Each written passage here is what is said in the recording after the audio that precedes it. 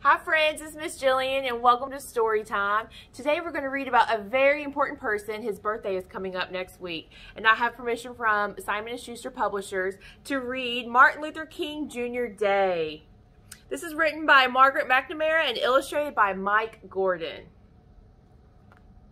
Let's get started.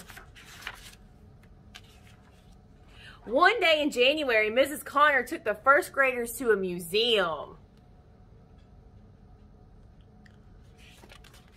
Does anyone know who this is? She asked. Ayana knew the answer. That is the Reverend Dr. Martin Luther King Jr., said Ayana. Mrs. Connor said Dr. King was a great leader because he had great dreams. What kind of dreams? asked Reza. They were very big dreams, said Mrs. Connor, about how to make the world a better place. Back at school, Mrs. Connor asked the class to draw their dreams on a piece of paper.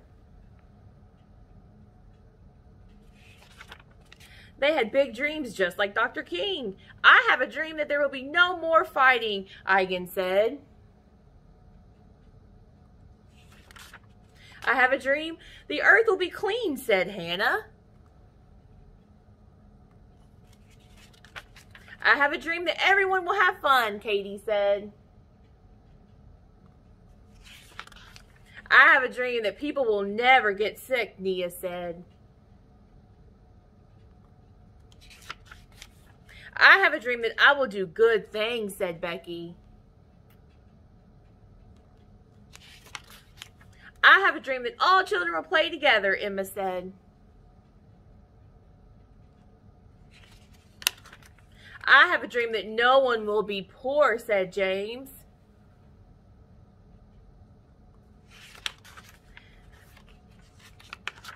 I have a dream that everyone will be safe, Reza said. The first graders were happy with their dreams. Dr. King would be proud of you, said Mrs. Connor.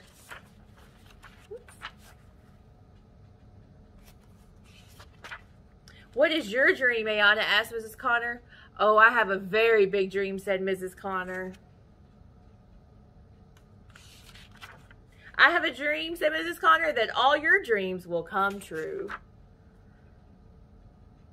The end. Thanks for joining. I'll see you next time. Bye.